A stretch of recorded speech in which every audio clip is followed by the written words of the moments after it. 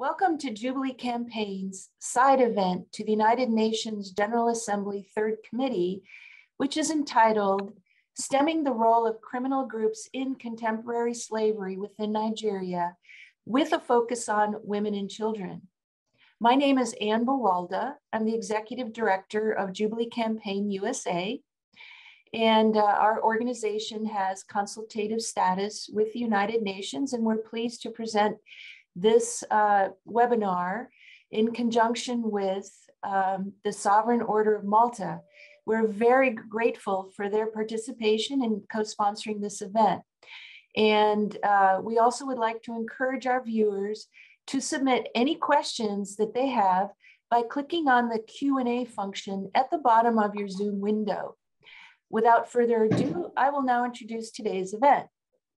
UNICEF reports that criminal gangs have abducted 1,400 Nigerian children, with 16 children dead in 2021 alone, and more than 200 still missing.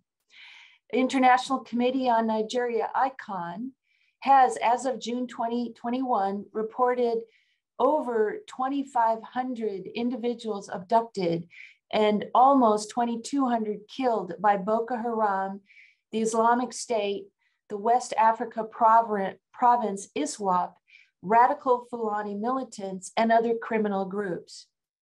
A large portion of those abducted are women and girls who are then subjected to domestic servitude, sexual slavery, forced marriage, and even coerced religious conversions. As UN Special Rapporteur on contemporary forms of slavery, including its causes and consequences, Mr. Tomoya Obokata has presented his reports, report specifically on the role of organized criminal groups with regards to contemporary forms of slavery earlier this week. And we'll be putting that report in uh, the chat for, for participants to be able to access that. Jubilee Campaign finds it essential that we raise the astounding frequency of mass kidnappings of predominantly school children and women in Nigeria. We believe these are targeted attacks. And we would also like to announce that Jubilee Campaign has published our own report entitled Kidnapping and Slavery in Nigeria to coincide with today's event. We'll be having that uh, report also available uh, through the chat function. And later we'll um, be, be releasing this report as well, making it widely available. We will be, um, um, our report provides both general information, such as what constitutes slavery and slavery-like conditions, and more specific information with regards to Nigeria, including historical forms of slavery in the nation and broader region, as well as modern forms of slavery perpetrated by criminal groups such as Boko Haram. We encourage you all to read it and to share it with anyone who would like to know more information. Now it's my honor to introduce our moderator for today, um, His Excellency Professor Michel Veuthey, Ambassador at Large of the Sovereign Order of Malta, will be monitoring and combating trafficking in persons. He also serves as Deputy Permanent Observer of the mission of the Order of Malta to the United Nations in Geneva, and he's joining us today from Geneva. Ambassador Veuthey holds a doctorate of law from the University of Geneva and a diploma from the Hague Academy of International Law and is a professor of international humanitarian law. He has a wealth of hands-on experience in international humanitarian diplomacy, having spent most of his career at the International Committee of the Red Cross. We now welcome Ambassador Veuthey to moderate our event and thank you once again. Your Excellency, the, the floor is yours. Oh, thank you, uh, Anne. Thank you, Mrs. Buwalda. Uh, on behalf of the Sovereign Order of Malta, I would like to express my gratitude to uh, you as a Jubilee campaign for organizing this uh, important side event and for uh, bringing together all those witnesses and also uh, the expertise of Professor Obokata. Um, and briefly, allow me to say uh, what the Order of Malta does. uh, obviously, we assist vulnerable people around the world, uh, including uh, um, in Nigeria, and specifically for victims of human trafficking. I can tell you that uh, we do that in, in five uh, uh, ways. Five approaches. The first one, raising awareness raising awareness through our bilateral network. We have uh, diplomatic relations with uh, uh, more than 110 uh, states uh, through our multilateral diplomatic network, especially uh, at the UN in New York, in Geneva, at the European Union in Brussels and in other places. And also we organized in October 2019 a conference in Paris with international experts precisely on uh, uh, victims of uh, human trafficking between Nigeria and Europe. And uh, uh, we organized this conference to try to uh, bring together people from Nigeria and people from France, people from Nigeria, not only from the federal government, but also from the provinces, not only diplomats, because uh, obviously the ambassador of Nigeria in Paris was there, but also people coming from uh, uh, the northern provinces and also bringing um, together also religious people, beginning with Sister Patricia uh, who, uh, as uh, I will tell you, is directing uh, a pilot project in Lagos, the Bakhita Center. Sister Patricia uh, uh, of the Sister of St. Louis, uh, indeed, that's uh, uh, our concrete action in Nigeria on behalf of uh, victims of human trafficking.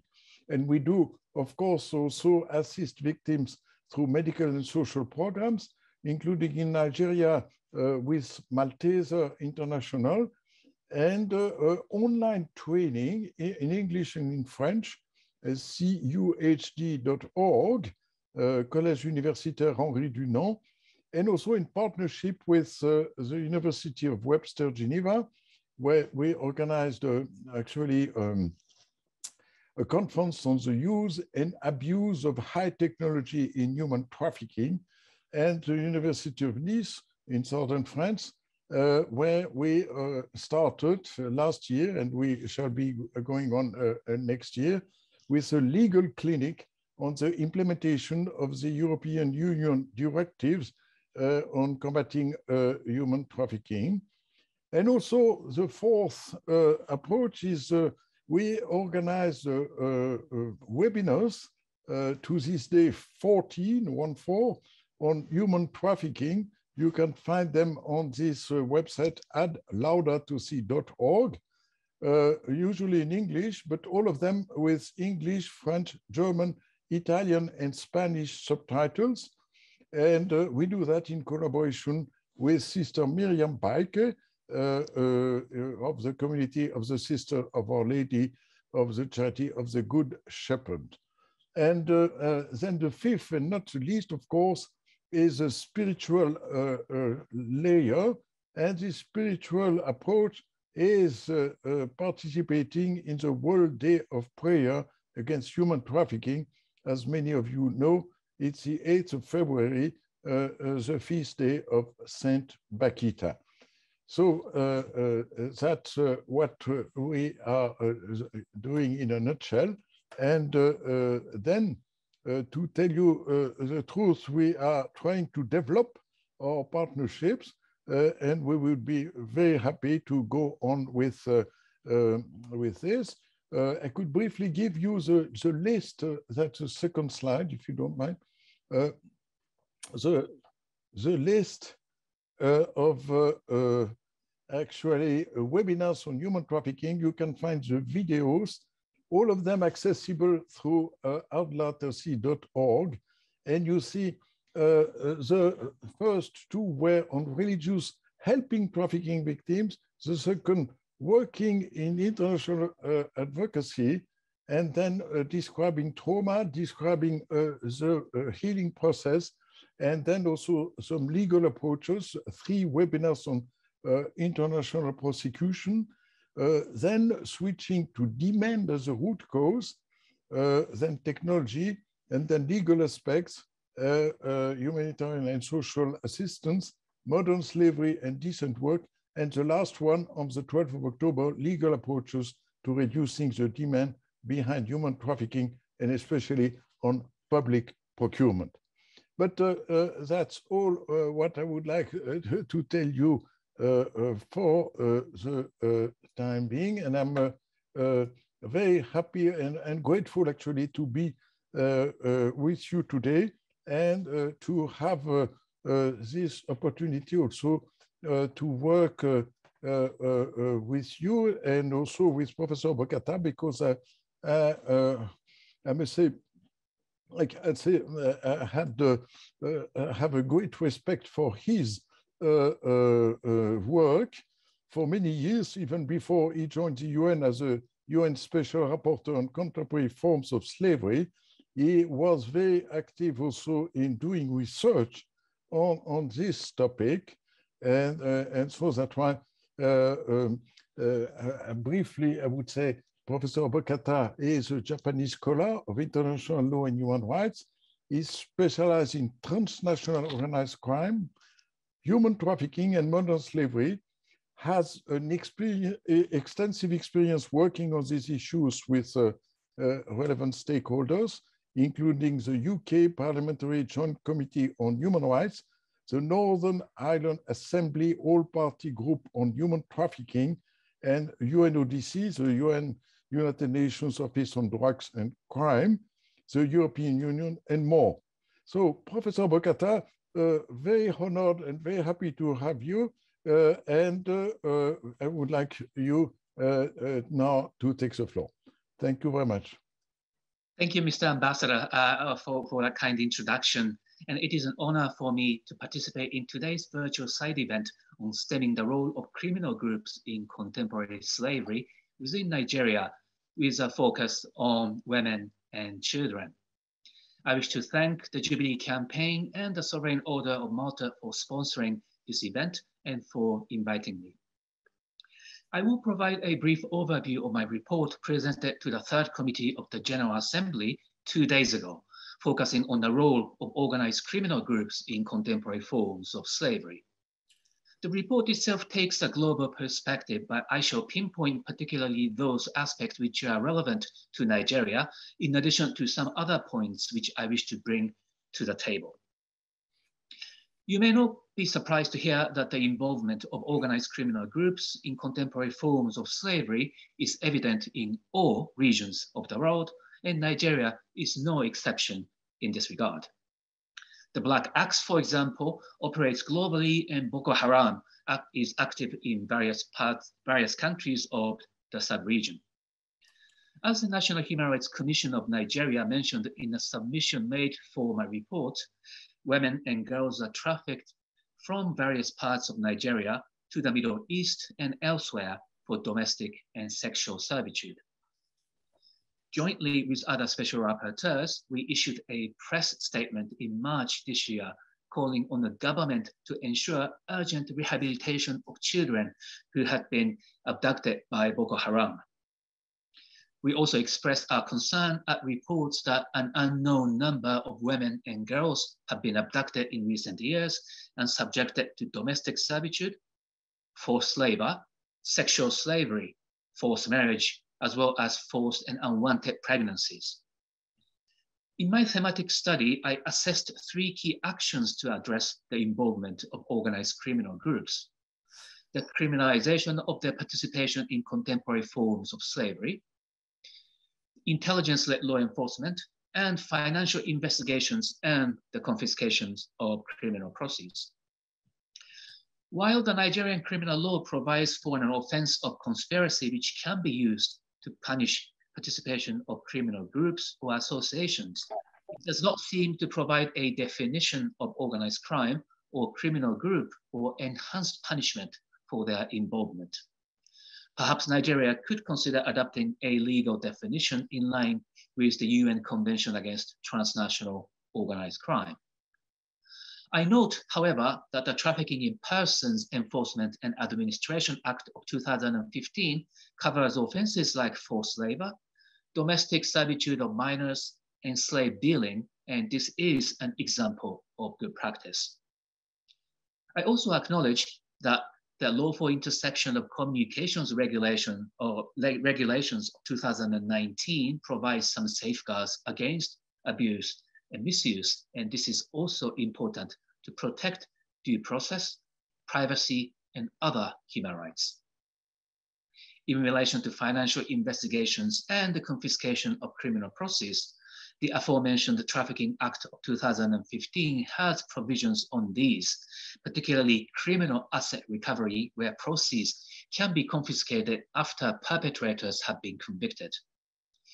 In addition, the Advanced Fee Fraud and Other Fraud-Related Offences Act of 2006 allows civil asset recovery where confiscation can happen before conviction under certain circumstances.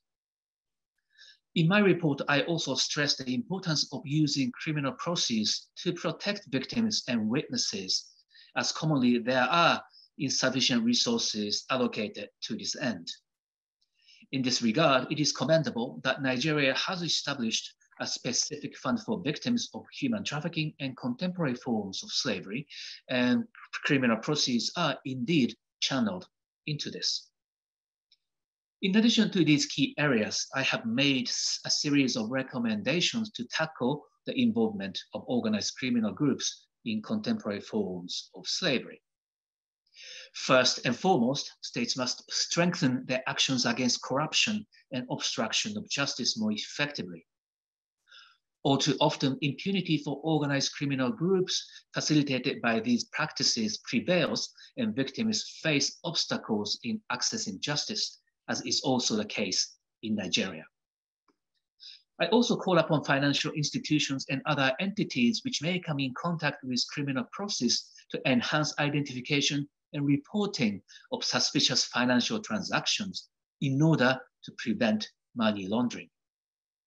Unfortunately, a lack of rigorous reporting is evident in all regions of the world, and states should implement more effective awareness raising and training among these private entities, and also strengthen communications and coordination with them.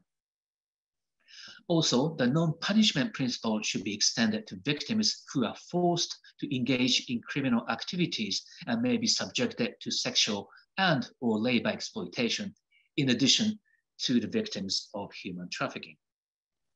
This means that victims or survivors of contemporary forms of slavery should not be punished for slavery-related crimes committed if they were forced to do so. It is commendable that the 2015 Trafficking Act recognizes indeed the non-punishment principle in Nigeria.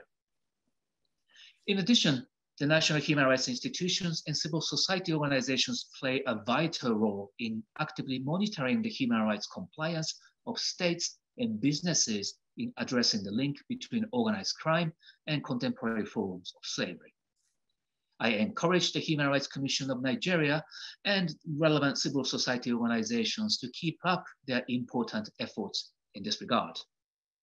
And last but not least, I wish to stress the importance of bringing complaints regarding the exploitation of women, girls, boys, and men at the hands of criminal groups in Nigeria to the attention of the regional and international human rights systems including the African Commission on Human and People's Rights and my mandate on contemporary forms of slavery.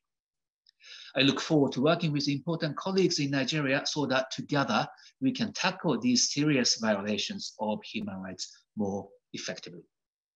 Thank you very much for your attention. Thank you very much, uh, uh, Professor Obokata. Uh, indeed, I would like to thank the Special Rapporteur for his insightful remarks and for his commitment to uphold international human rights at the international, regional, and domestic level, and especially for victims of modern slavery and human trafficking in Nigeria. uh, and especially, as you said, uh, women, girls, boys, and men at the hands of criminal groups in Nigeria. So thank you very much. And uh, now I would like to introduce our next speaker, Mrs. Ellen Fisher, uh, the Global Gender Persecution Specialist with Open Doors. Over the past decade, Mrs. Fisher has tracked trends related to the often overlooked intersection of women and religious persecution. In 2018, she initiated and has since co-authored each year the annual gender-specific religious persecution analysis reports for World Watch Research, utilizing novel methodology which she and her co-author pioneered. Mrs. Fisher is a co-founder of the Gender and Religious Freedom Platform within the Religious Liberty Partnership and has been invited to speak as an expert by the UN Special Rapporteur on Freedom of Religion or Belief, the US Ministerial on International Religious Freedom, and various government bodies from the UK, Norway, and Denmark on the intersection between women's rights and freedom of religion or belief. And from 2015, 2018, Mrs. Fisher took a special interest in addressing the post-conflict situation of Christian women in Central African Republic and has helped design and implement trauma care training in conjunction with socio-economic development as part of a broad response to the persistent conflict situation. We now welcome Mrs. Fisher to share her remarks. Ellen, up to you. Thank you so much for your kind remarks, Your Excellency, and my greetings to panelists and guests. My special thanks to uh, the Special Rapporteur, Professor Obokata, for your very helpful report on the role of organized criminal groups with regard to contemporary forms of slavery. I won't pretend to uh, to add to this expertise, nor uh, presume to give more insight into what is happening on the ground than some of our panelists which come afterwards.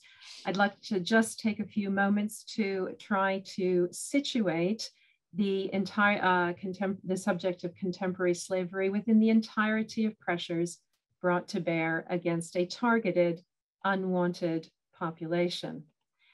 We'll look at this in four different quick stages. Uh, and uh, these are findings as we look through them, which will hopefully reinforce the special rapporteur's conclusions and enrich those recommendations. Firstly, let's start by picking up on what the report refers to uh, essentially as the hiddenness of criminal groups' activities within other, very often legal systems. It will be helpful, however, to broaden this to a consideration of other compounding situational factors and intersectionalities. Now, I recognize that this is not a new idea that populations can be vulnerable for multiple intersecting reasons, such as race, ethnicity, gender, and religion. However, the special rapporteur's report speaks of how hiddenness can result in significant gaps in the identification and of and protection of victims. And one of the interest, interesting things is that this gap that we're all concerned to fill is very complex to define because it doesn't just blend into the legal economy, but into ethnic tensions, desperate financial need, normalized gender prejudices, and a more generalized impunity for violence and abuse.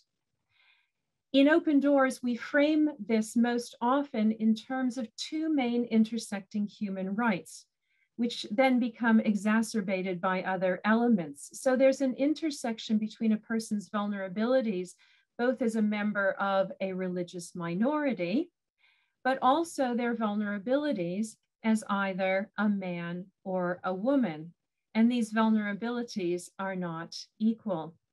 In more uh, prosaic terms, we have taken to describing this as differentiating between motive for doing something, a violent action, the means by which it is accomplished, and then the opportunity which arises in the life of a given perpetrator.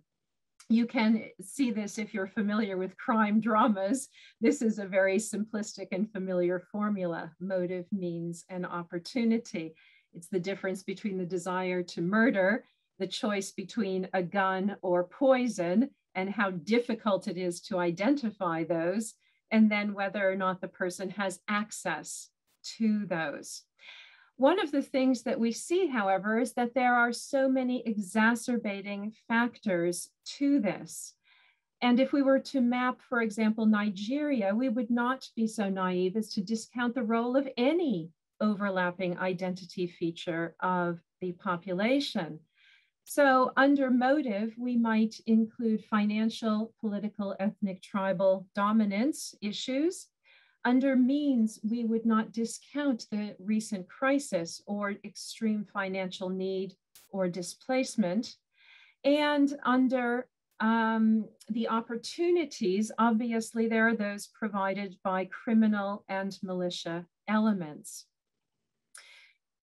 Open Doors is not new in taking new to taking an interest to Nigeria. In fact, World Watch Monitor has published one of our reports and did so back in 2014 uh, called Our Bodies Their Battleground, which investigates this going back uh, several decades. Most recently, uh, our 2021 report entitled Same Faith, Different Persecution investigates those countries around the globe looking for patterns to know whether or not what is happening in one country is exceptional or typical of the way uh, religious persecution is carried out against the Christian population. Now, we look at the Christian population because we have trust, trusted networks there, but any faith network could do the same, and we would invite them to do so. These are the countries in which we operate, and you would find them on any of our websites. This year's findings put at the top of the most common uh, tactic used against women, that of forced marriage, which very often happens as a result of abduction. Human trafficking can be involved in this, and this results in a form of sexual slavery. However, we do have pressure points, as we call them, specifically for abduction and trafficking, and those are not inconsequential on a global scale. In fact, they have been rising, and we saw a significant rise in those between 2020 and 2021. Uh, the special rapporteur has named many of the reasons for this, we're aware of the fact that this rise in trafficking, which very often leads to contemporary forms of slavery, is very interrelated to many of the other pressure points which we also track. So it is complex and it does vary around the globe. We divide our findings into four regions and we see a variety of actors at work in each of these uh, situations different structural forces at work and they produce unique dynamics, but there are similarities which will hopefully allow um, the implementation of um, some focused recommendations. Um, we also would not want to discount the fact that many of these things are exacerbated by conflict situations in each of these regions, and this has already been recognized. In terms of recommendations, I will just leave you with some links to our formal recommendations. Um, as, a, uh, as a civil society group, Open Doors is always encouraging local faith actors in these recommendations that you see on the screen, and we have developed specific programs and means of doing so. However, for government bodies, and uh, other agencies, we have special specific recommendations for the country of Nigeria. And in the back of our annual report, we also have more global recommendations with respect to uh, protecting the intersection of FORB and women's rights and those individuals who are touched by this. Thank you everyone for your time and thank you uh, Special Rapporteur um, Obokata for the work that you are doing for these populations.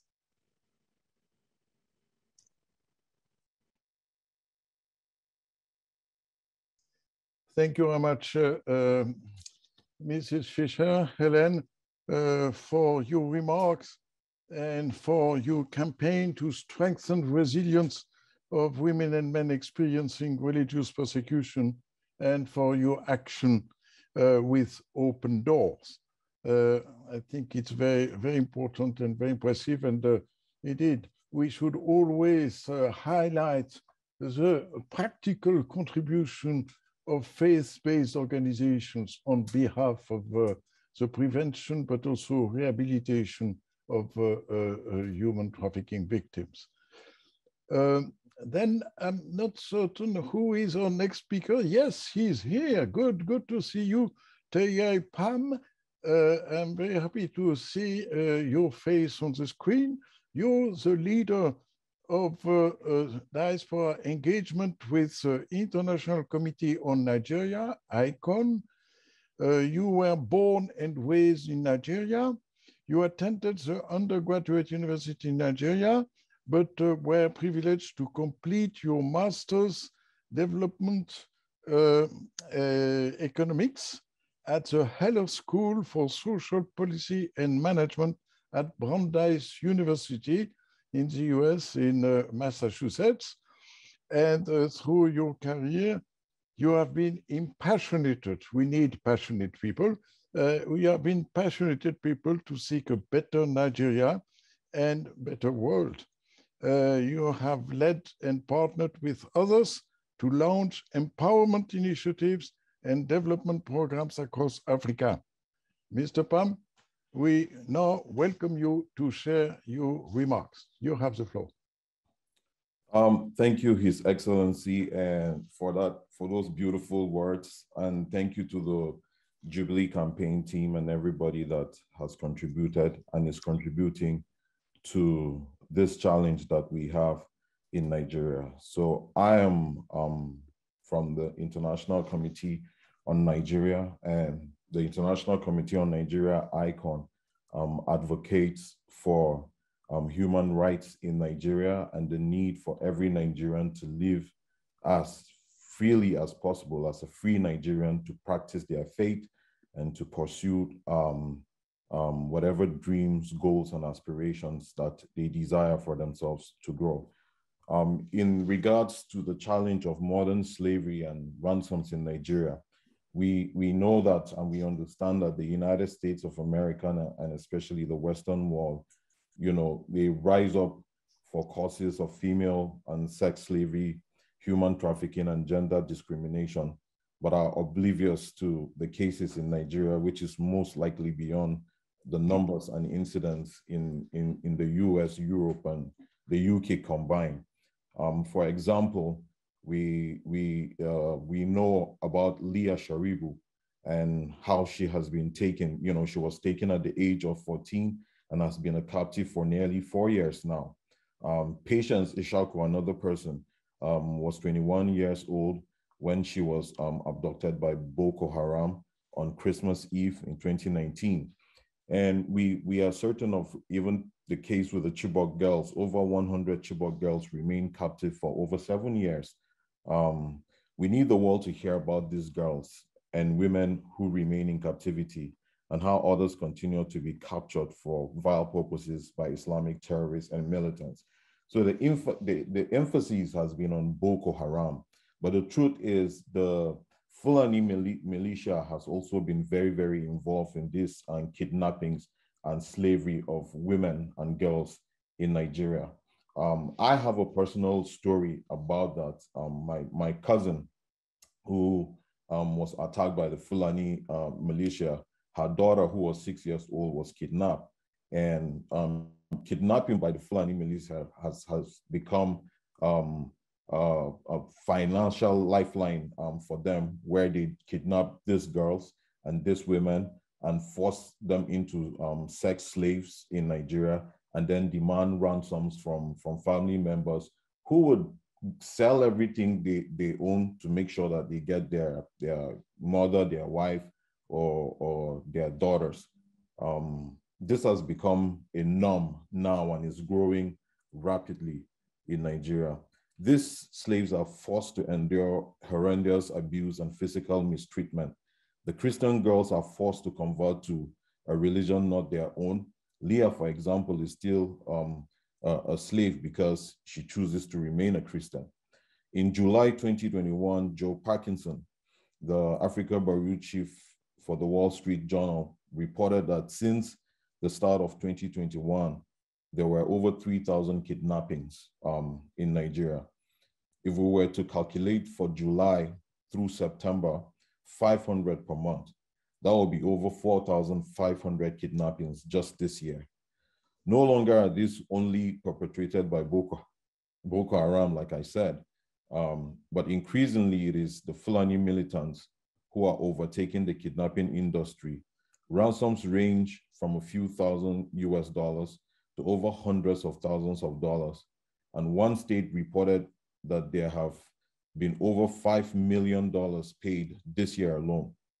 ICON estimates that the average ransom is about 10,000 US dollars each, and that, and that over 2,500 kidnappings have been per perpetrated this year, specific, specifically targeting Christians.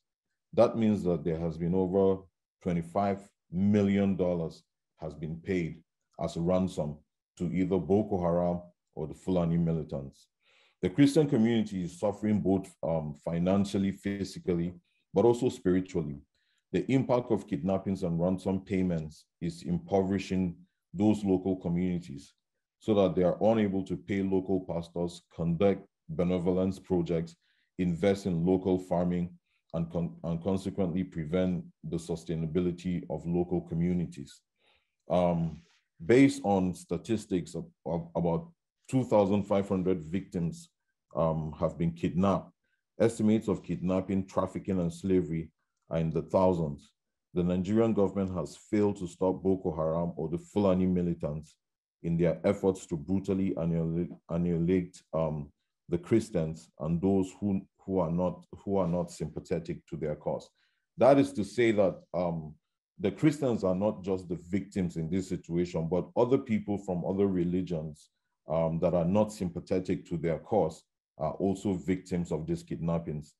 Over 2,500 um, women and girls kidnapped in 2021. Um, 2,500 kidnappings have been um, perpetrated this year, specifically targeting Christians. Over 85% are from Christian communities and 25 million in ransom in this year, 2021. The estimated amount of ransoms paid in 2021, over 25 million. Um, it is sad to say that there has been zero court cases in this regard. There are absolutely no court cases that have been tendered against perpetrators of kidnapping and slavery. Either family members do not feel they will produce any result, and or there, there has been zero arrests against key perpetrators. Um, sometimes in these attacks that happen, especially in communities, even when people are arrested, it's easy for them to, to get released. Um, and it has been a hopeless situation, and that's probably why people are not moving forward to the courts to um, lay any cases. Um, we have certain recommendations that we would like to share. We appeal to the Nigerian government and the global community to fight for the human rights um, of all people, especially those enslaved in Nigeria, women and girls especially, who are kidnapped and forced um, into all these violent acts um, against their will. We appeal to the world because um, all lives matter. We believe that adding voice, voices to ours can help free those who are in bondage and in fear of their lives. Ransoms range from a few thousands to over hundreds of thousands of dollars. And one state reported um, spending over $5 million um, in, in ransoms. Um, we, we, we therefore ask individual organizations and institutions to issue a public statement decrying the capture and enslavement of uh, women and children, whether Christian uh, or Muslims, um, by jihadist militants in Nigeria, um, to work with organizations like us um, to employ the power of the United States by force or diplomacy to emancipate um, these girls and these women, um, to help us educate the American public about the plight of people in Nigeria, women and children, especially girls, both Muslim and Christians, who are being slaughtered, enslaved, and trafficked by religious supremacists. Thank you so much for this time.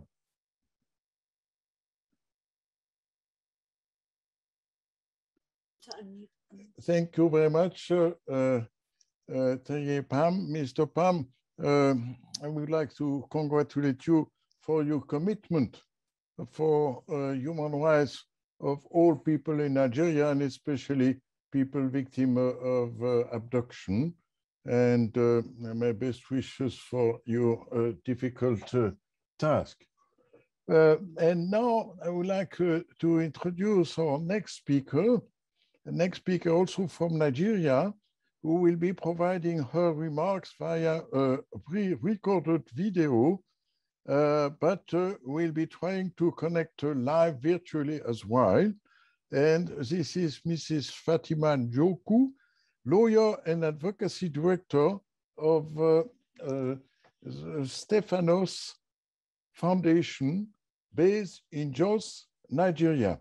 Stephanos Foundation is a human rights advocacy, relief, rehabilitation, and reconstruction organization that works to help victims of aggression and those suffering discrimination simply for being Christian in Nigeria by providing intelligence gathering, leadership training, trauma healing, and services for internally displaced persons camps.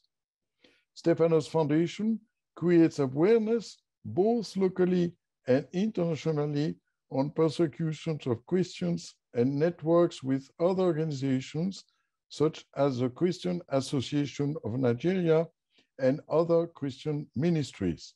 We will now play Mrs. Njoku's pre-recorded statement. Please. Thank you so much for having me. So as, as I've been introduced, I work with Stephanos Foundation and Stephanos Foundation is a human rights organization in Nigeria we work to help um, victims of violence through many ways. We offer psychosocial therapy, we offer relief, we do advocacy, and that's the aspect I'm going to be dwelling on today. So in the years of our work with victims of uh, violence, and particularly those who have been displaced, of course, many people have been displaced due to the ongoing violence in Nigeria different parts of Nigeria. Most of displaced people are internally displaced, while a few have left the country and are refugees. We will be dwelling on those who are within the country. Many of the internally displaced people suffer a lot of challenges. Um, I'm, going, to take an example of the internally displaced persons camp that my office opened in 2014 in Jos. We realized that when the camp was opened, a lot of people came in, of course, first to support, to offer the kind of the help they can, you know, contribute their, you know, different kinds of help, giving food and all that. But then there were a lot of people who also came there solely for the purpose of trying to adopt some of the children or take them as domestic servants. That's a very bad situation. But in a situation where criminal gangs have this kind of people and then they, there's no opportunity for them for civil societies like us to come in between to say no you can't do that to these people you can't take them as servants and just enslave them and all that when they're in the camps and all those places, there is no advocacy for them. There is nobody speaking for them. And so they're at the mercy of the criminal gangs.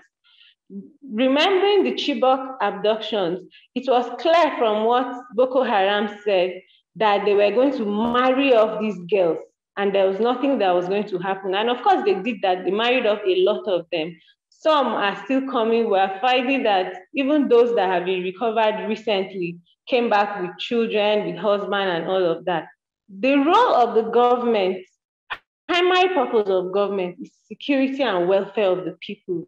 In situations where people are increasingly being abducted, massive mass abductions, and then these people are subjected to all kinds of inhumane treatment. They are not well fed. There was a video I saw where one of the students that was captured by one of these militant groups, they were drawing all kinds of very painful marks that was bringing out blood and the child was screaming. And that was, that video was done simply to show to people that they need to pay ransom. These people need to be you know, taken out of captivity, but ransom has to be paid. And these kind of things are happening in this country where we have a government in place. At a time when all this situation is happening, these things are happening, you hear the federal government saying that they have they have forgiven repentant Boko Haram. And then you begin to wonder, what is the criteria for forgiving repentant Boko Haram, for forgiving repentant terrorists?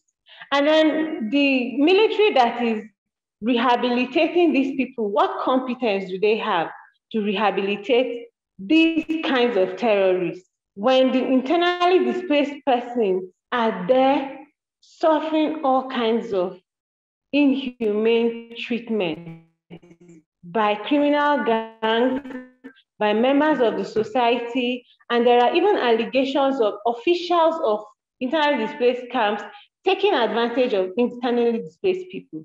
This is a very serious situation that we believe very strongly that needs with these kinds of intervention, talking about it and international engagement.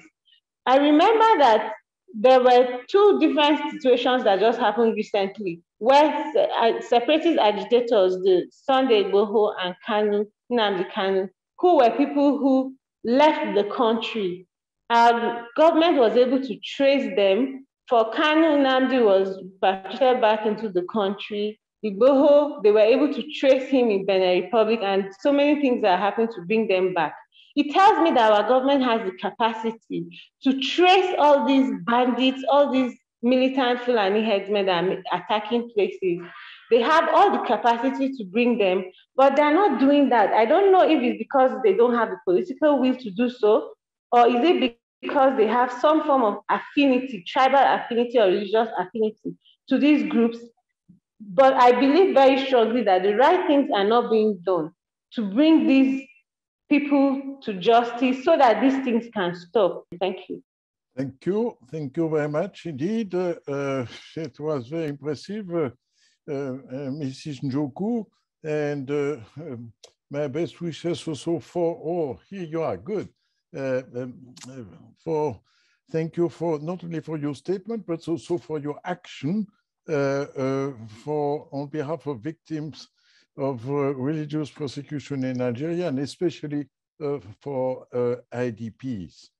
Now, I would like to introduce our next speaker, Father Joseph Bature Fidelis, a priest of the Catholic uh, Diocese of Maiduguri in Nigeria, Father Fidelis has been outspoken on religious persecution of Christians, in particular their vulnerability to attacks by Boko Haram, and has called on Western nations to intervene to stop the atrocities. Father Fidelis is the director of the Justice, Development and Peace Commission of the Diocese of Maiduguri, and he has used assistance from aid to the church in need to build a trauma and resource center for displaced persons in the diocese. Father Fidelis also currently ministers to women in these refugee camps who are survivors of attacks by Boko Haram and the Islamic uh, State in the West African province. Father Fidelis, we now turn to you. Thank you for taking the floor. Thank you very much. I am Father Fidelis Joseph, and um, I want to thank the, Your Excellency for introducing me, and to thank the Jubilee Campaign also for making this platform available for us to speak on the experiences and what we go through as locals here. I am a priest and a clinical psychologist, and I work in Maiduguri in Borno State, and I help the victims of uh, Boko Haram violence. And as most of us know, I wouldn't go into the long details of about Boko Haram ISWAP and uh, what the Fulani people are doing. I will just go straight uh, to the action and the help that we do. Currently, with the help of Aid to the Church in Need International, we have been able to build a little trauma healing center situated in Maiduguri. And we are currently undertaking also a community-based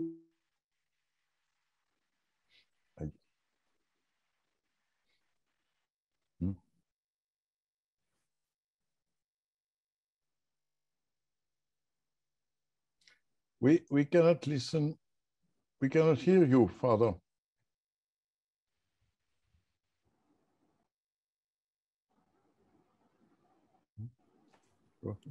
Can you hear me now? Yes, yes, good. Please, thank you. And uh, under the Justice, Development and Peace Commission, we carry out awareness, sensitization, trauma healing, uh, psychosocial support activities, occupational therapy, and vocational therapy, especially for women and young girls who are victims of this attack. And most of them are already internally displaced persons who have also received various forms of attacks, abuses, and torture. And I want to thank uh, the United Nations, and especially for this side event, to highlight the suffering of women and young girls because in the event of war and crisis as it is constantly in Northeast Nigeria and other parts of Nigeria, women and young girls suffer a double tragedy. While we know, and it has been highlighted, the motives for which these groups operate, we know that strongly there is the move for religious conversion, and most of the victims that we have met to speak to them and to assist and accompany them, most of them have been asked to forcefully change their own religion Many of these victims have served as sex slaves. Some of them even have children for the, ex, for the combatants. Some of them carry out domestic servitude like washing of clothes, cleaning, fetching water, and even sometimes working in the bushes on the farms of these armed groups. Sadly, some of them also are used for commercial purposes. And two motives are here. For the commercial purpose, sometimes some of them are sold into the neighboring country of Chad and Niger while others who are kept behind, ransom is being asked upon them that their families have to pay huge amount of money, and that money is often channeled into the purchase of arms and other heinous crimes. So what then is our own experience with these victims of this attack? While in captivity, they are often repeatedly tortured, beaten, starved, and raped when sometimes they escape from captivity, as I have made more than eight of them just recently, about eight of them, and we are working with them. When they have escaped from slavery or from these attacks, they also suffer social stigma. So they have a double kind of suffering that they undergo the post traumatic stress disorder or the symptoms, and then the social stigma of not being socially accepted into their communities. What we have recently, recently, a survey was carried out by the North, Northeast Protection Working Group, and children were asked, and I will just read the responses of the children.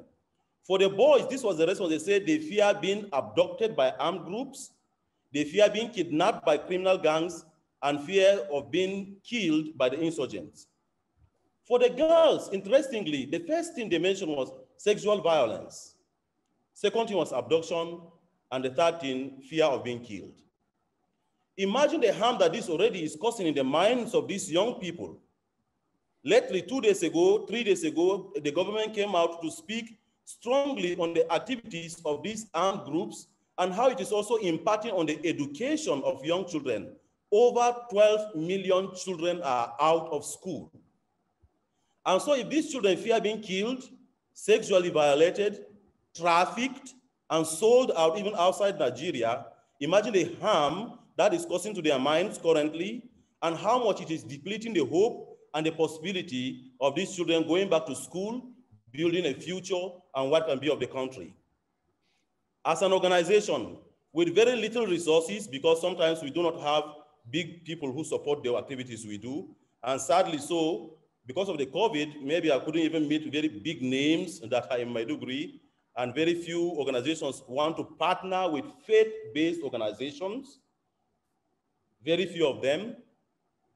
We have been engaged in this community-based mental health and psychosocial support.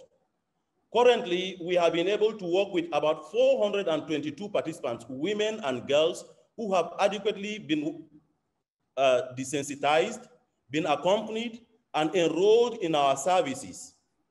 We have trained 12 mental health officers, and we have trained over 471 community-based psychosocial support group persons who are then divided in groups. And these 471 cut across Borno, Adamawa, and Yobe. Mm. What then can be done to assist these victims? While it is true that trafficking is going on because Maiduguri is bordering Chad, Niger, and part of Cameroon, victims of these abductions by these armed groups are often sold out or tortured or violated. We work on the ground there to assist some of them, to accompany them, their families, and to help in their own trauma healing. What are the recommendations that I would want to give to, the, to this uh, panel and to the bigger international bodies? No doubt, uh, over and over, there has been a call, but I want to reiterate it here, a call to have a transnational security system and network around that border because much as we have the security outfits, because of the poor situation and the porous nature of the borders, there is need to have a transnational security network that will work between Nigeria, Chad, Cameroon, and Niger to prevent the trafficking line that. Father Fidelis, I would like to uh, to thank you uh, because I think we we we lost you, but still, uh, uh what you said is quite impressive, and uh, I would like to uh, to thank you not only for your witness but also for your courageous advocacy and action on behalf of uh, victims of Boko Haram. Uh, and uh, if, uh, if we cannot see you or hear you anymore, possibly you could intervene in the question and answer period. Um, and if, if you don't mind, um, I would like to uh, uh, give the floor now to the next speaker. And uh, uh, uh actually, the next speaker is also from Nigeria. Uh, it's Alheri Magaji. Alheri Magaji, Mrs. Magaji is the daughter of Bawa Magaji, the leader of the Adara chiefdom of Nigeria, and in 2019, in June 2019, uh, Mrs. Magaji spoke at an event uh, hosted by the Heritage Foundation, where she revealed that the predominantly Christian Adara group has suffered numerous attacks that left hundreds dead and thousands displaced. Me, Mrs. Uh, Magaji now uh, operates the Radi or Radai Foundation, an organization based in southern uh, Kaduna states that uh, focuses uh, on uh, uh, and actually, Mrs. Magaji, if you are with us, I would like to, to give you the floor. are you with us? Okay. Yes. Hello, yes, I'm here. Okay. Thank you so much, sir. It's an honor to be here. And thank you for the introduction. Yes. Um, I'm going to try to be quick because as we all know, Kaduna State Network has been shut down, so we get sporadic networks. Mm -hmm. So mm-hmm. yes, my name is Alheri Magaji. I'm the daughter of Bawa Magaji, who is the Wazir in Adara. He's actually supposed to be the leader since our leader was killed in 2018. His killers have still not been brought to justice. And after that, uh, my people who are 95% Christian Adara have been placed under a Hausa Muslim emir. So things have been really difficult for us. And then in the midst of all this, we have kidnappings every day, every day. Just yesterday, we met a girl, a lady, she's a widow. Her husband was killed in the crisis last year. She was, um, we actually empowered her and then she was kidnapped and she said she was there for a week and her family had to pay 500,000 naira for her to be, as ransom for her to be released. And she was raped every day. So when we talk to victims, we realize that every time they're kidnapped, sometimes they're not even kidnapped for ransom. They're kidnapped to uh, cook for the Fulani herdsmen who kidnapped them. They're kidnapped for sexual um, activities. Most of them, even the kids, are raped. On July 5th of this year, into 2021, 121 students were kidnapped while they were in school. I mean, there's not supposed to be any safer place for you to be than in school or your homes, but those are the most vulnerable places for my people right now. We have people kidnapped every day from home. And that aside the people being kidnapped on the road. Those of you familiar with Kaduna know the road from Kaduna through southern Kaduna to Plateau State is one road, and that's where almost everybody follows. Just on Sunday, a cousin of mine was kidnapped too on that same place. Like it's on the road. And because of the shutdown of network, it's hard for people these days to call for help. There was an attack in Jankasa in Zangon in southern Kaduna last week. For three hours, the, the attacks were going on on innocent people while they slept. And they couldn't call for help till three hours later when the carnage had been done. And when you talk to the government, they tell you it was a, a clash. It's not a clash. How is it a clash when people are sleeping and you attack them while they sleep? And then the government calls it a clash. But why my foundation operates is because we realize the victims are left to themselves. These women and kids who are being raped, nobody takes care of them. They're released. Those who are lucky, who aren't killed, they have to go back by themselves. A lot of the things I wanted to say, Tay and um, Njoku from Jos said a lot. It's kind of similar from what, what my people are going through. And I'm just speaking for the other people. This is across Southern Kaduna. And we started talking earlier because we knew it was going to escalate to other parts of the state. So right now, even the northern parts are not left out. Birnin is not left out. Lere is not left out. Nobody sleeps well in Kaduna State right now. I can tell you that for a fact. Whatever it is they write in the newspapers, nobody sleeps with their eyes closed in Kaduna State. Even in the cities, you're sleeping, the kidnappers come at night. They kidnap you from home, and the security forces won't do anything about it. But our main concern are the displaced people, the internally displaced people. They have absolutely nowhere to go to. We've had cases where people's limbs have had to be cut off because they got rotten because they had less than a dollar to go to the hospital. So we're advocating that the government, at the very least, if they say that the bandits in court, as what they call them, but the victims will tell you they're Fulani herdsmen, if they've overpowered them and there's nothing they can do about that, the least they can do is to take care of the innocent victims. Nobody's taking care of them. You find um, orphans who are left at the mercy of people who you don't know if they're going to take care of them. My organization is taking care of Zipporah, Isaiah, and Isaac. They were a family of eight. And on the same night, on one night last year, their mother was killed, their father, three older siblings were killed right in front of them.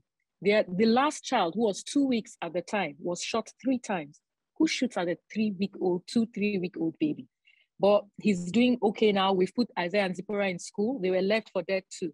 But you can only imagine how their lives have changed in a night. And this is the story of so many people in my community. And we're just calling for, for them to even be recognized as victims because they're being gaslighted. The government is even will even tell you sometimes that these things don't happen or, or I am exaggerating or my uh, organization is exaggerating what is happening. They always say that, but we have facts, we have pictures, we have the people are there.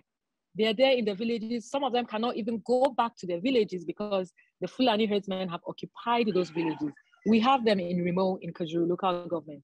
So it's just a lot. I could go on and on and on, but I want to thank you for this platform. Thank you for everybody on this platform. I know a lot of people here because of what I do. I don't want to waste time, but thank you everybody who is here for um, escalating our voices. Thank you, Jubilee campaign. Thank you, everybody. Thank you so much. I'll stop here. Mrs. Magaji, for your statement and also for uh, your foundation's Resilience Aid and Dialogue. Aid and Dialogue Initiative. Yes, sir. Yes. You can find us at www.radifoundation.org. Yes. You'll see a lot more stories on there. That's very kind of you. Yes. No, no, thank you for thank sharing you. that with us. And uh, actually, we, we were supposed to have uh, Uh, uh, Doug Burton as the next speaker, but for okay. Uh, health reasons, he's on medical issues, he's unable to be with us. So uh, we are happy to have uh, Dr. Gloria Puldu. Mrs. Puldu, very happy to, to see you. indeed, one of the most noteworthy stories we know regarding kidnapping and slavery of women and children in Nigeria is the story of Leah Sharibu. Leah was kidnapped in 2018 at the tender age of 14 by the Islamic State in Western African province, ISWAP, and she remains in captivity four years later as she had refused to renounce Christianity God bless her, and convert to Islam through recent uh, uh, reports suggest that she had done so. We are honored to welcome Dr. Gloria Puldu, founder and president of Leah Foundation, who works so tirelessly for Leah's release and has highlighted the struggles of other school children abducted and forced into marriage and servitude. And uh, Dr. Uh, you uh, previously gave a heart-wrenching testimony at the first International Religious Freedom Summit in July this year. Dr. Puldu, we now turn the floor over to you, please. Thank you very much, Your Excellency, sir. And I really appreciate um, the privilege of recognizing the little work that we do. Uh, and I also want to specially thank you, the Special Rapporteur, for giving us this platform and Jubilee campaign. We are really grateful because this gives us the opportunity to keep amplifying um, the voices of the voiceless who are paying a great price, some of them still enslaved in captivity, like Leah Sharibu, like we had, our foundation, Leah, uh, found, uh, Leah Foundation, uh, was created in honor of this young child who boldly refused to renounce her Christian faith. We are so proud of what she has done and we will keep speaking and encouraging other young women and young Christian girls. So whoever people of faith, you know, to stand boldly for their faith. So we advocate for Leah Sharibu. She represents all the persecuted Christian young girls and also girls who are taken from captivity, um, are taken from their schools. And we know the issues that are happening to our school children. We also help to uh, rehabilitate and give restoration to rescued young girls and empower the widows and uh, vulnerable women who are all in societies. You know, these are some of the little works that we do. Going on to what has been happening to my country, since 2009, Nigerian Islamist terrorists, which we have all been speaking about, Boko Haram, ISWAP, they have, which they literally means Western education forbidden. And so that's why we see the insistent attacks on school, making sure that women especially don't even go to the school because in their ideology, women should not be educated. They should be in the kitchen or behind, you know, so they mean Western education forbidden. And they have been waging a violent attack against the Nigerian government in the bid to impose Islamic law and even Islamic Caliphate in the whole of Nigeria. So they have started their activities in 2009, even though back in the 1980s, like 83, we had a group called Maitatsine, who we believe are the ones that have metamorphosed into Boko Haram because they share the same ideology. And um, now it is not just about the Boko Haram like one of our uh, panelists shared. We have the Fulani headsmen, who are rather the Fulani militia, is the proper name to give them because they are very well equipped and they carry out systematic attacks, abducting and kidnapping, just like Alheri just mentioned some of the terrible things that they do with um, abducting of uh, uh, uh, uh Christian women and uh, girls, and not just Christian women and girls, but communities entirely displaced from North Central, uh, Northeastern part of Nigeria. So we can see that, in fact, even the West Southern part of Nigeria now is paying a great price with the activities of the Fulani militia. So, and they are doing similar things with the Boko Haram. You know, so for us, we believe strongly that uh, all these criminal groups whether it is Boko Haram, whether it's ISWAP, whether it is uh, Fulani militia, whether it is bandits, whether it is uh, gun or non-gunmen, whatever name they give them, or the coloration, they, they have the same agenda behind them because in their activities, they always, you know, mention that they are, and they don't hide it, they mention that their intention is to ensure that they Islamize Nigeria and they establish an Islamic caliphate in Nigeria. So these groups are the same. They go about kidnapping and destroying communities, killing husbands, killing men, killing uh, uh, uh, young men, or you know, abducting them and conscripting them into or enlisting them into Boko Haram if they are uh, willing to. If they are not willing to, then they are killed. And what do they do with our women? They keep our women enslaved.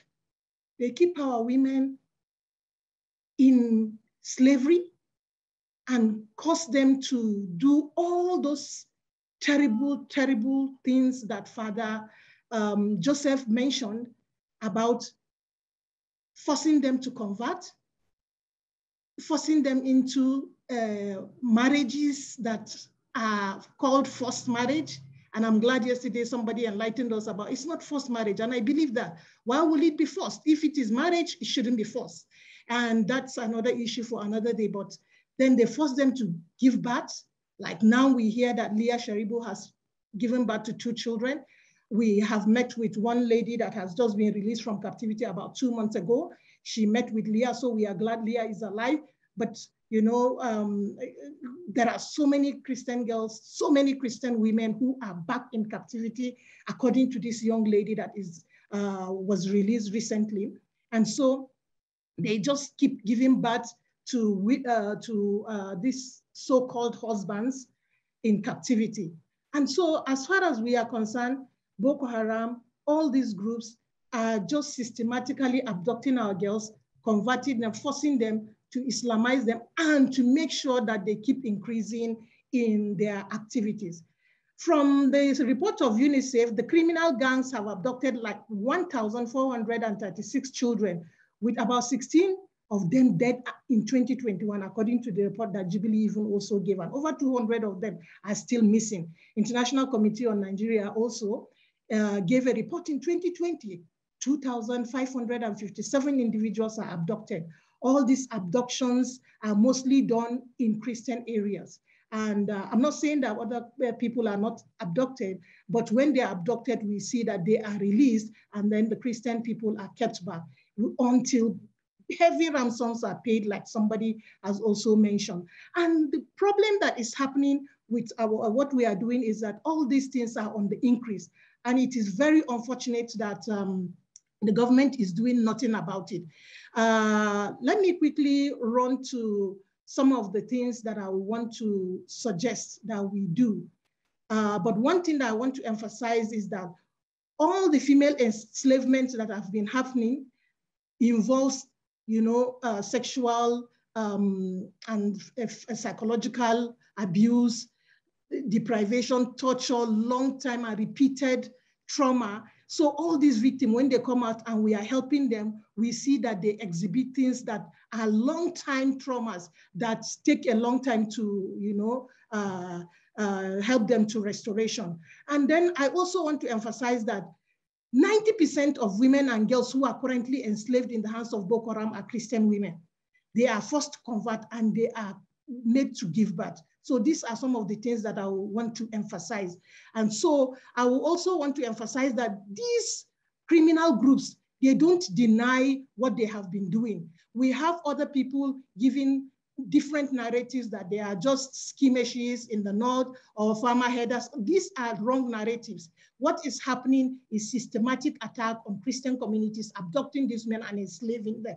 That is one part that I also want to emphasize. And there are so many YouTube videos uh, in the media of Boko Haram leadership making direct threats against Christians, you know. And uh, in 2020, uh, in 2012, there was a video released. We could check, uh, check it out, and they said clearly their intention is to make sure that they give alternate three days alternative for Christians to leave the north. If not, they are all going to destroy them. In 2014, they also released an, uh, a video and they say, Allah says we should finish them all. And that is one thing that I don't think anybody should be in contention with. And in 2018, uh, the video that they released about Leah and other Chibok girls, we know all is to uh, force Christian girls and to make sure that Christianity does not uh, move on in Nigeria. Let me just run to recommendations, two or three because of time. First of all, I would like to ask the Nigerian, uh, I would like to ask the United Nations to uh, ensure that they pressure the Nigerian government to harmonize the national with the international law on rights of women and girls so that they can be held accountable when crimes are committed against women. The International Criminal Court should monitor and evaluate Nigeria's capacity to hold perpetrators of abuses and sexual vi uh, violence against women and girls.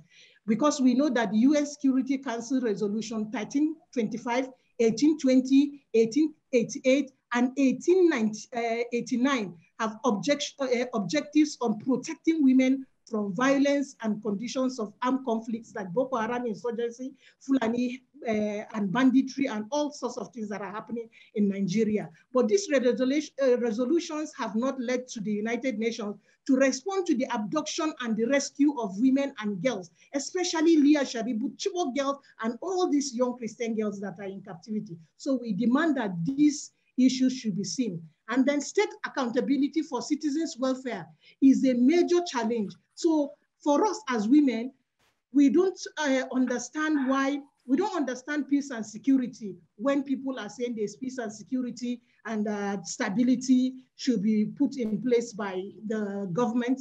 We don't experience that. So the state government should be held uh, accountable and Nigerian government must be pressured to prioritize the rescue and return of all abducted girls. So let me stop there.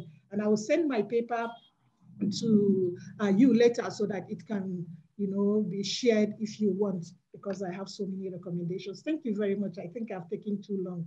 Hmm. Thank you, sir. Sorry oh. for that. Thank you very much, Dr. Purdu. Uh, uh, you're the founder and president of the Leah Foundation. Thank you for your powerful testimony and your very interesting recommendations and tireless action. Thank and uh, uh, now I would like to introduce uh, Dr. Sayo Ajiboye. Uh, the next speaker is indeed Dr. Oluwasayo Ajiboye, founder and director of Mission Africa International. He's also the president of Redeemed Christian Bible College and Seminary, Mission Africa International is a non-profit organization that advocates on behalf of the persecuted victims of religiously motivated violence in West Africa. Mission Africa International also seeks to facilitate mentoring and educational interventions for the development of Africa as a whole.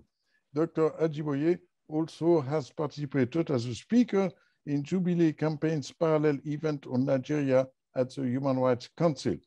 Dr. Ajiboye, uh, we welcome you to speak. You have the floor. Oh, it is a privilege to be here. And I thank the, the uh, Your Excellency Veuthey. I thank the Special Rapporteur.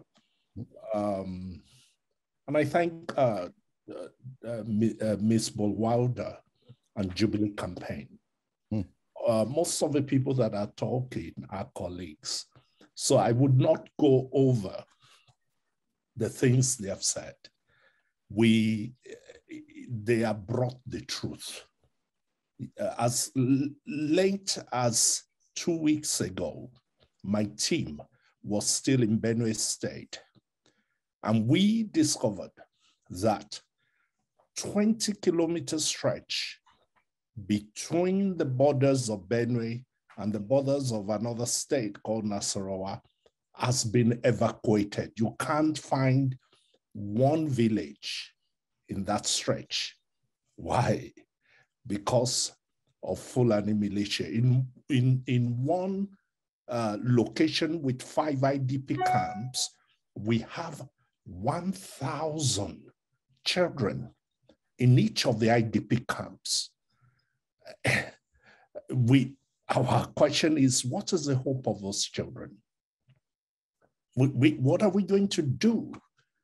Are we going to uh, wait and later do exactly the same thing that uh, Clinton did uh, uh with the Rwandan uh, genocide? Because what we are facing is nothing less than a genocide. It is not just in the North Central. We walk in Adamawa, we walk in Benue, we have walked in Zamfara. All the Christian villages in Zamfara has been evacuated and neutralized. So, and we, want it to be clear that this is um, not a farmer-ada conflict. This, like uh, Dr. Pudu said, is an attempt to create a caliphate.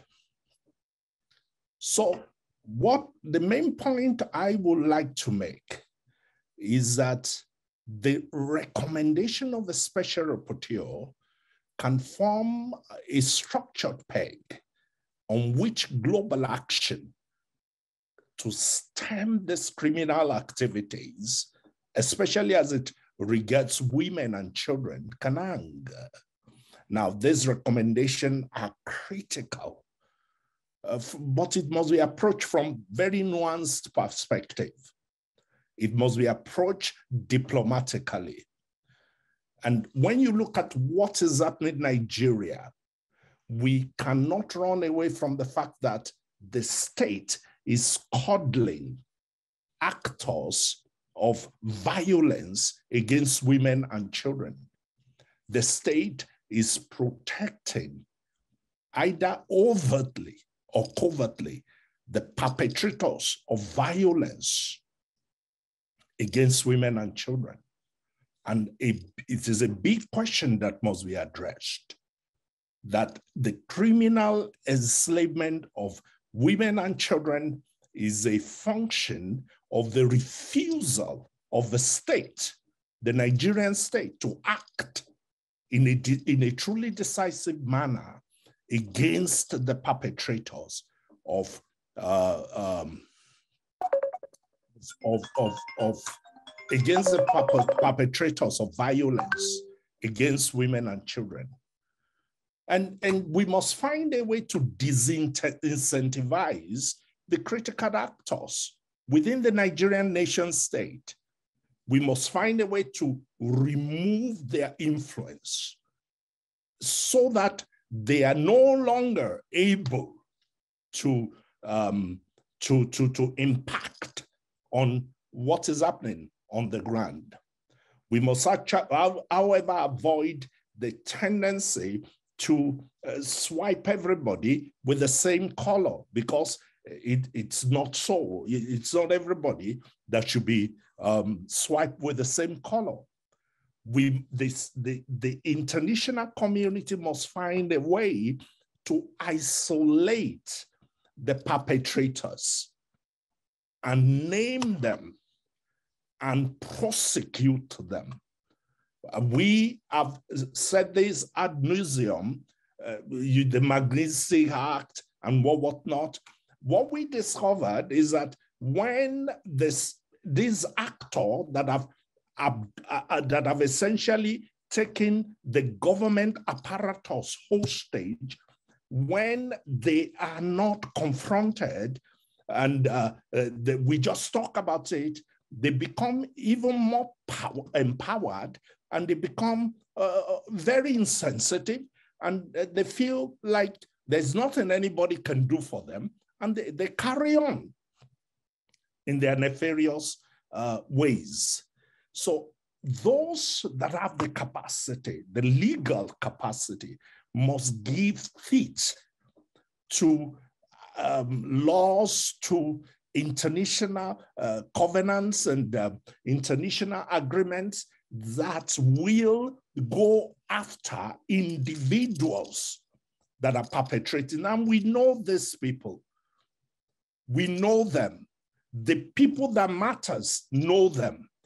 Just like in the Rwandan uh, genocide, the state, the American state knew what was going to happen.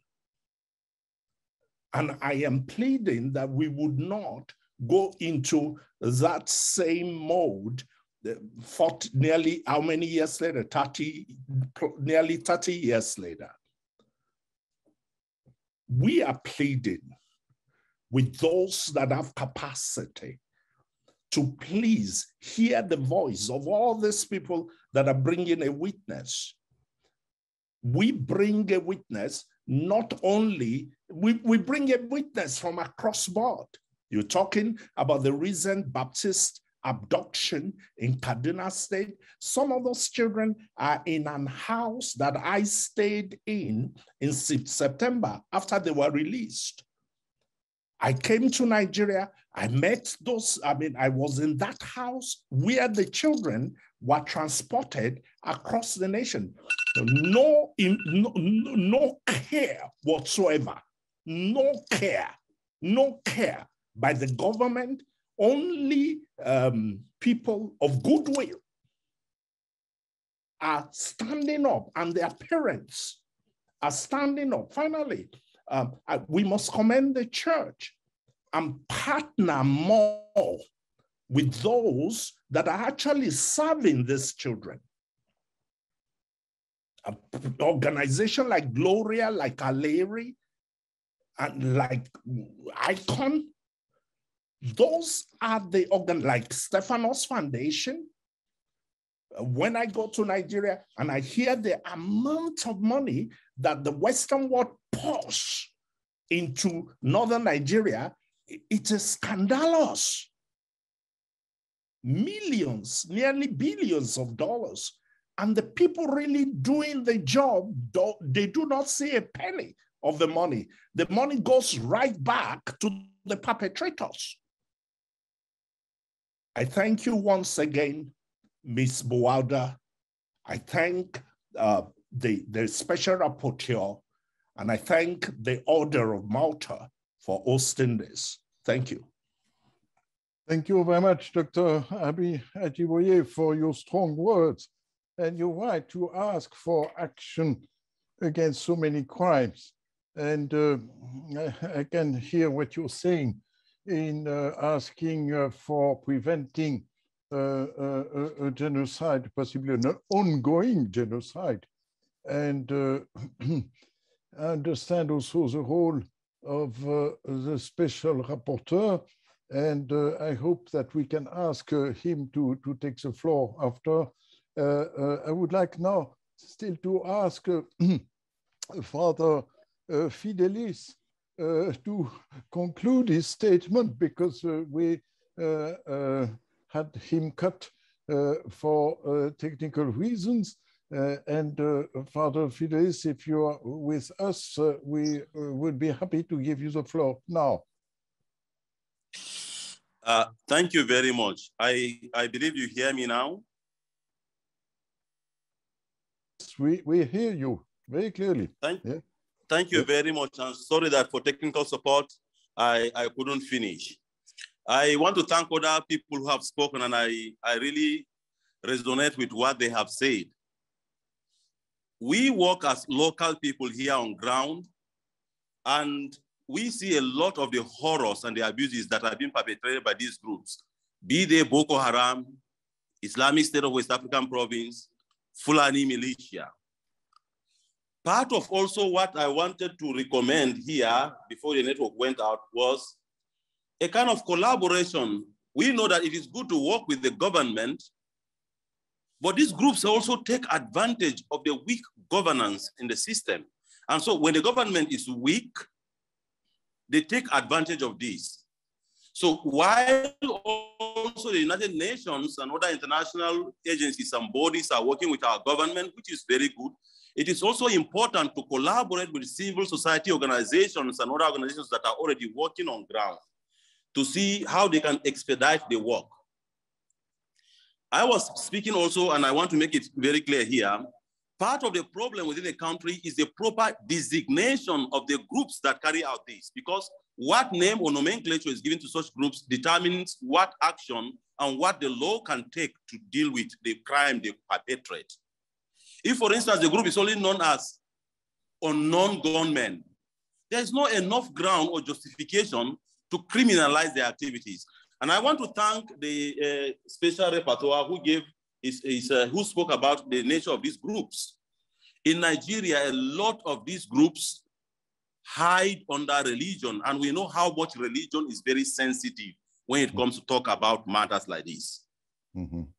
We must isolate, designate, prosecute, and speed up the process of criminalizing and prosecuting these groups. So it's one of the very big recommendations I want to make. Then I am sure also in the preparation of this platform, there has been mentioned by the uh, special rapporteur about this victim fund. Access to such fund or access to other UN agencies to collaborate with such organizations as the ones we work is very limited. We have limited access to such funds. Where those funds go back to, we do not know. And our eyes are not just because they are going on funds for charity's sake, we work to bring back life to these people. And it is important then that access is granted to, to us to carry out such things. Then a system or a kind of a, a, a, a base has, I recommend also a base be created where different partners who work, especially in the area of human trafficking, modern slavery, and other forms of crimes against women and children, these groups come together to see what solutions they can proffer. And here then I want to recommend a collaboration among the groups, a platform where they work together, especially to combat crime, to help in the area of education, and to curb and the, the crimes in the society while creating awareness and sensitizing, sensitizing the general public. So thank you very much. And thank you to all those who have spoken. And thank you once more for giving me the opportunity to finish the recommendations I want to. Thank you. Thank you very much, Father. Thank you. No, it was very important that uh, you had this opportunity to finish your statement. And actually, uh, you were confirming what both uh, Dr. Puldu and Dr. Ajiboye were saying. Um, I must say, I, I, see there are two, two kind of, uh, or two uh, special approaches. One approach would be the criminal prosecution of traffickers, and as you know, this uh, should be done definitely at the domestic level. But if it's not possible at the domestic level, then uh, possibly it should, could be done also at the international level. And as you know, some of those uh, uh criminals are also traveling, so they might be prosecuted in, in other countries uh, outside of Nigeria, could be prosecuted in Europe, could be prosecuted in the US and other countries. Uh, and uh, uh, the ICC, I must say, it's a big question whether the International Criminal Court could Uh, take such uh, uh, claims, but that's to be considered. And second approach, of course, is the protection and uh, of and assistance of victims and also uh, the prevention of human trafficking and uh, then uh, uh, understand that many people were asking what is being done for the protection of of uh, vulnerable uh, population, what is being done for uh, those IDPs, was those people without food, shelter, and education.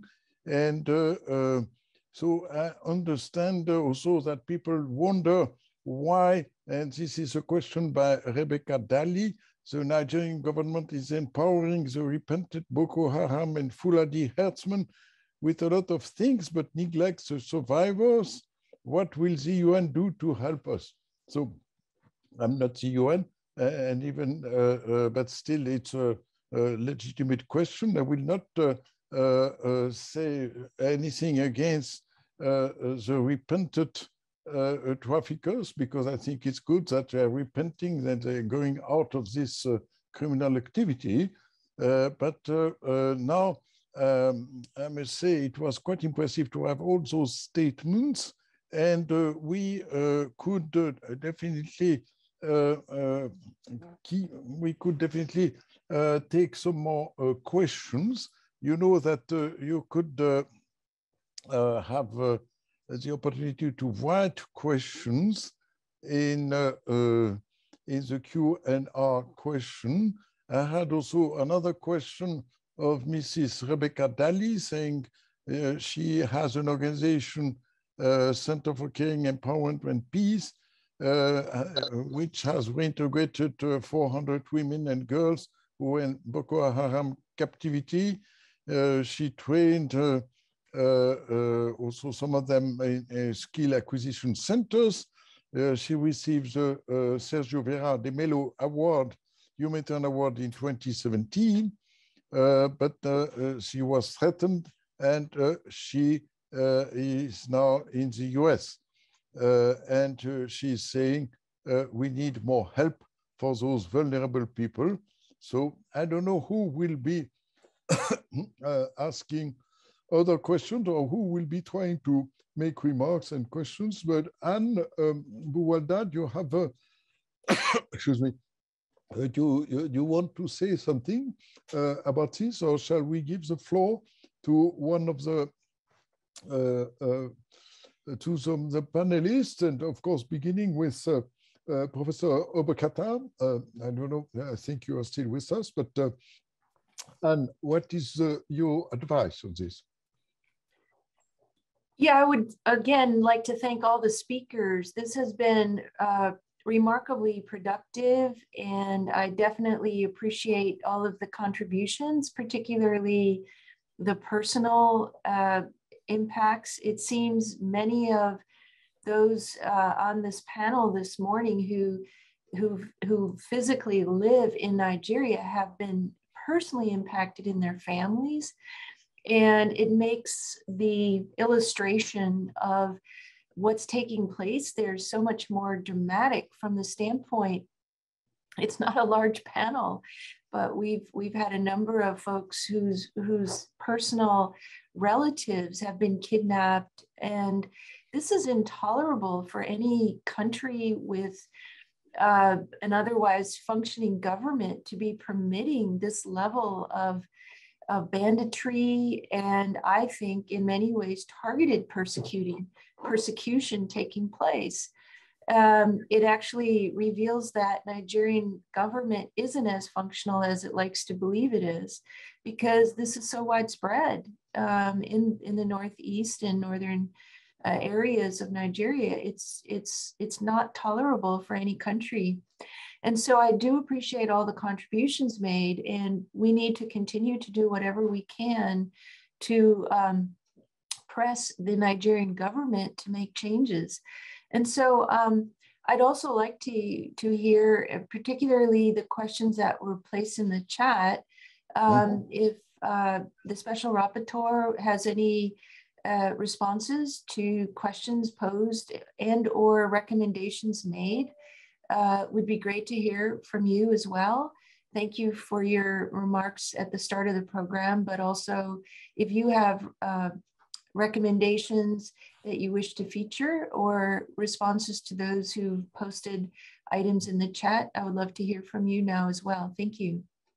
Oh, thank you very much, uh, Anne. And actually, I, would like now to ask uh, Professor Obokata, uh, UN Special Rapporteur on Contemporary Forms of Slavery, for, for his comments.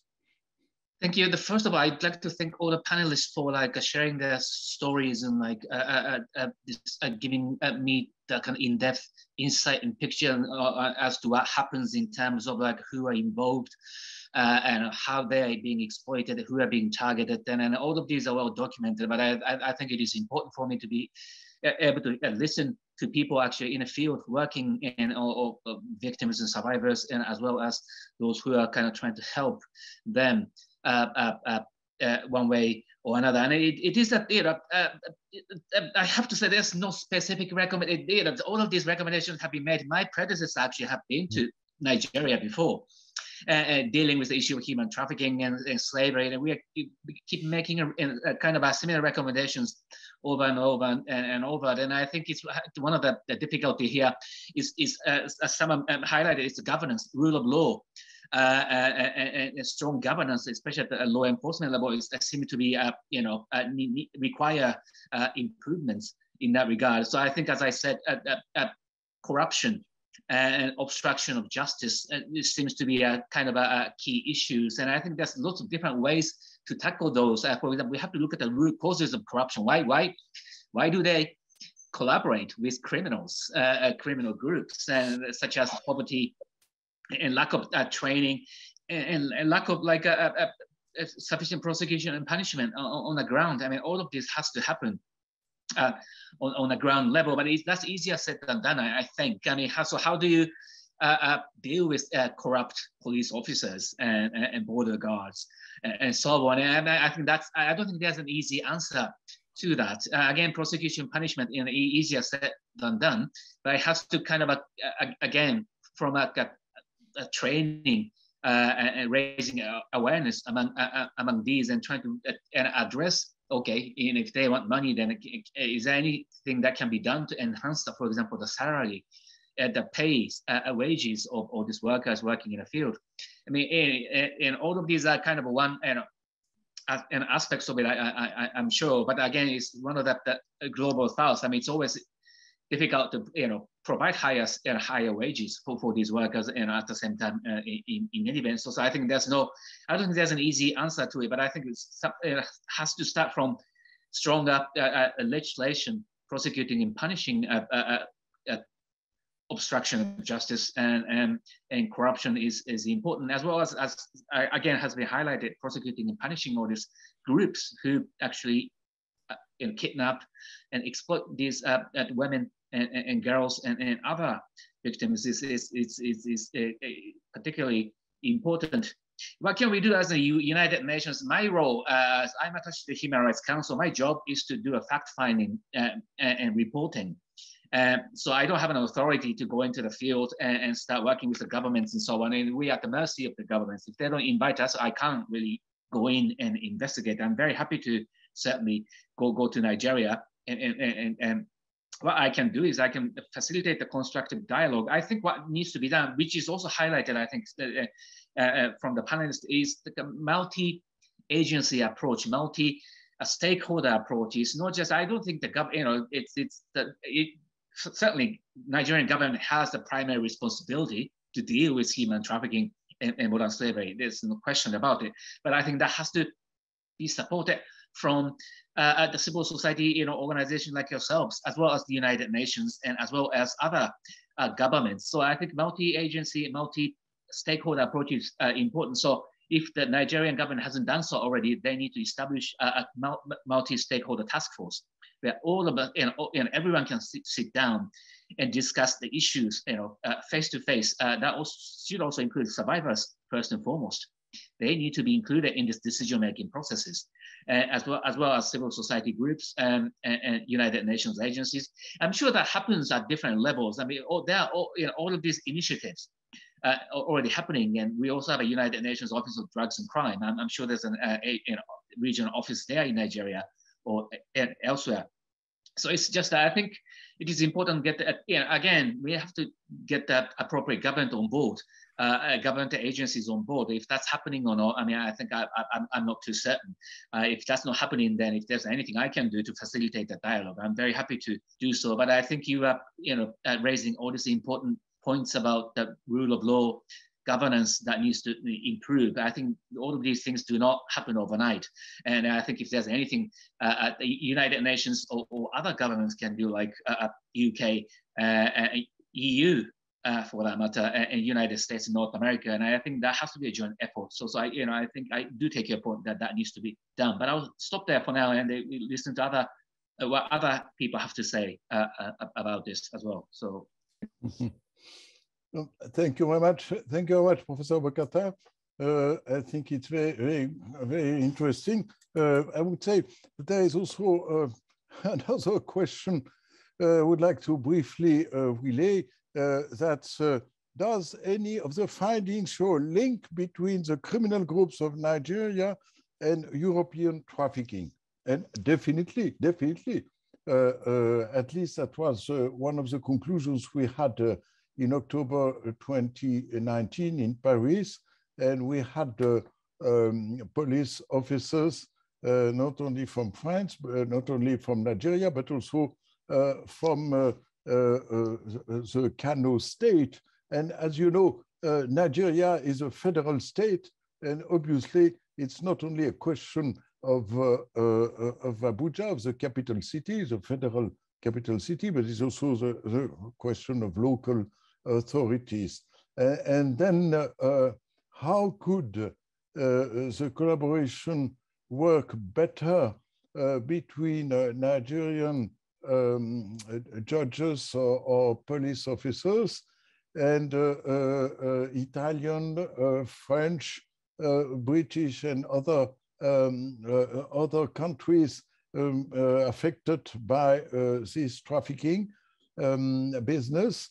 I would say it's difficult to say it's it's not only a legal question, it's also the, the, human factor is very much here because we, we need uh, not only to relay messages through embassies to diplomatic services, but actually we need to bring together uh, uh, those various uh, people and uh, uh, we need to bring those people together so that they know each other, they trust each other, and they could work more effectively than unfortunately they cannot do too often for the time being.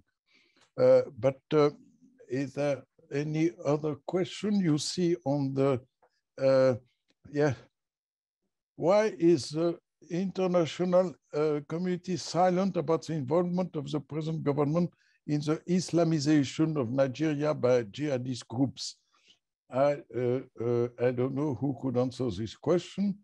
Who would I? I think I, think I, I, think that that's an important uh, question. I mean, the international community is obviously it's, it's, it's, highly politicized. I mean, they are very quick in responding to, well, uh, uh, I mean, making comments to us, for example, Myanmar and, other Afghanistan, but what about Nigeria and other places which are also suffering from terrorist violence and so on? And I, you know, I do take your point. I mean, why is it silent? Uh, uh, it's, it's political, but you know, I am not. I, I am an independent human rights expert. Mm-hmm. So, so I mean, if you can bring uh, your voice to my attention through a communication and so on. I mean, you know, what at least I can do is to bring that uh, you know, highly publicize it at the international level, saying this is happening. We make statements, we uh, send communications to the government, we publicize those. If then the government is not doing anything or government is not responding, and that is also uh, uh publicized. So hopefully that may kind of uh, add some kind of a, well, that may encourage the government uh, to do little more. But once again, um, I'm not, you know, I don't have an authority to go in and, and investigate and, and, tell them what to do. I mean, that's that's not how it works, unfortunately. I mean, that's part of the uh, uh, uh diplomacy that we also have to be in. But you know, I I, I, I do think that the Nigeria deserves a, more attention, to be honest. Uh, and from the international community and regionally. And one of the things you could also do is to approach European uh, so African Commission they also have a, I think it's a regional international approach uh, is good, but I think more often than not, regional approach works better in, in many cases because they share common heritage. They share, they have that common understanding of some of the local issues. Uh, is, is, is quite important, I, I, think. So there's an African Commission on Human People's uh, People's Rights that you can kind of uh, bring to their attention that what's happening in Nigeria, and I think it's also uh, important. They also have Europe, yeah, again African Court uh, in that regard. And then, uh, you know, it's and all of that. Uh, again, this is so there's lots of multiple uh, uh forum. Uh, so European Commission, I mean, uh, sorry, African Commission may be in a better position than, for example, myself. But you know, I, you know, I can raise a voice at the international level to the Human Rights Council, and that I can do. and I publish a report every year about different aspects of modern slavery, and you're more than welcome to submit information, like Nigerian Human Rights Commission has done uh, thank, uh, you know, I very much appreciate that input to my report, and I do encourage all the stakeholders to do the same. Uh, uh, please let me know what's happening. Please let you know us know, you know, so that we can reflect in reflect your voice. Thanks. So I'd like to make a comment with regard to non-governmental organizations. One of the things that Jubilee Campaign has done is we've done rejoinders when the Nigerian government has made public statements. They've even made public statements condemning uh, their own uh, uh, citizens from speaking out. And we've uh, submitted and publicized rejoinders demonstrating that the Nigerian government has not been honest and is not fulfilling its uh, duties as a government to protect its own citizens. So we have pointed out where they have um, essentially fabricated certain uh, situations that they made a claim uh, didn't exist or uh, had been somehow not published um, uh, truthfully, we show that no, in fact, um, by illustrating what has taken place in certain areas by Fulani militants or by Boko Haram or some of the other organizations that really are organized and should be investigated, including by the International Criminal Court. We've, as an organization, pointed that out. So has ICON. And again, we uh, appreciate ICON's contributions today um, our reports are essential. If we don't get these reports circulated, then the Nigerian government continues to obfuscate or otherwise essentially deny or lie or whatever. We have to keep the light shining. And so, again, I appreciate all of the NGOs that are on this call. And we need to continue to expand our numbers as those of us who are doing uh, investigative work. Um, we regret one of our speakers could not attend today, uh, journalist Burton. Uh, he could not attend today, but he's done significant work as well to expose the atrocities taking place, the kidnappings taking place, and moreover, the enslavement taking place of women and girls and even boys um, there in Nigeria. So we have to keep the spotlight on. Now, um, I do think that if all uh, country delegations would take this seriously uh, and also raise their concerns with the International Criminal Court, which at this time says that they are investigating these topics uh, with regard to Islamic extremist groups, with regard to um, other types of uh, criminal networks. Uh, and we, we need to provide our reports to the International Criminal Court, but we also need to push them to go beyond investigating. It's time to bring indictments. It's time to bring serious um, efforts to hold the impunity in Nigeria to account. Uh, nation states have a duty, and through the International Criminal Court, which Nigeria is a participant with, there needs to be effective tools utilized and criminal um, uh, indictments brought against those responsible. Um, also, governments have an opportunity um, on an individualized bilateral basis to bring uh, sanctions against specific Nigerian um, political persons who are who are responsible or who, or who are not engaging in their duties to protect their citizens. Um, exposing those behind uh, definitely is an ongoing effort, but also holding them accountable once they're exposed and once they're uh, brought to um, the attention of the international community. We need to continue to do that. So my comments are all of us on the call, all those who are observing bring it to the attention of your governments to to take action, to take sanctions against individuals or call on the International Criminal Court to bring indictments. Uh, we need to hold those responsible to account. And we can do that through our governments.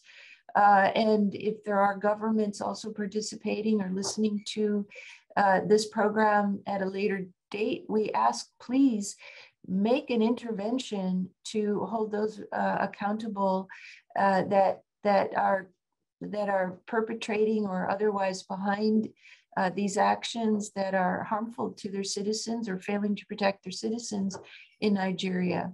Thank you.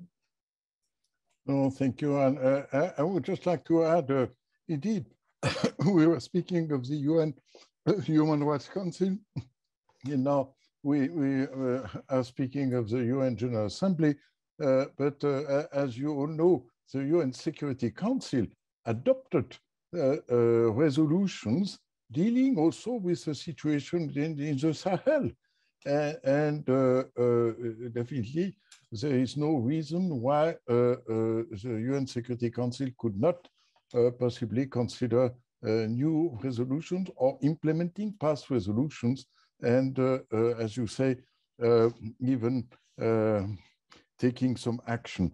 Then we, we have the African Union, and don't forget that Nigeria is possibly the most important member of the sub-regional organization ECOWAS, uh, CEDEAO, and uh, ECOWAS is a, a, very important and well-structured uh, sub-regional organization, including with human rights court, and uh, uh, there you could possibly also uh, try to ask this sub-regional support. But I agree with you that NGOs and local communities and all those people who uh, did bear witness today uh, should go on. And, and, and this message should be uh, forwarded uh, so that indeed action will be taken uh, to prevent, to protect, and also to assist victims. I think it's badly needed. And Nigeria is extraordinarily powerful, important country in Africa and in the world. Uh, so you deserve really uh, uh, to uh, I would not say to do better, yes, but to better protect your own citizens. And uh, uh, I hope we can go on doing this. And I'm very, very grateful to, uh, to you, Anne, and to all the people from the Jubilee campaign for organizing this side event. Also very happy to see uh, uh, Professor Obokata. Um, I think it's uh, only the beginning of, uh, uh, of a campaign and that we could move ahead, we could go on uh, with this awareness raising, with this collection of good practices and with this call to action to prosecute, but also to protect. So, no, thank you very much, uh, and thank you very much, uh, all uh, speakers today. it was a very moving powerful uh, experience we had uh, uh, today. And I hope we can forward this message, we can forward this call to action to many other places, but at least we, we, shall, we shall share those messages. And uh, I would like uh, uh, personally and on behalf of the Order Malta to express my deep gratitude and, and my best wishes uh, to everyone, uh, beginning, of course, with our friends in Nigeria, uh, our brothers and sisters in Nigeria. You have all our sympathy and all our friendship, and we hope to do better for you and with you. Thank you.